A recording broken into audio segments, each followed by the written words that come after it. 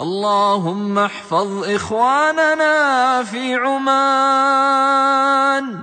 اللهم احفظ إخواننا في عمان. والمسلمين في كل مكان. اللهم الطف بهم يا رحمن. اللهم كن لهم عونا على الأعاصير المدمرة والريح المرسلة. اللهم أعطهم خيرها وخير ما فيها وخير ما أرسلت به.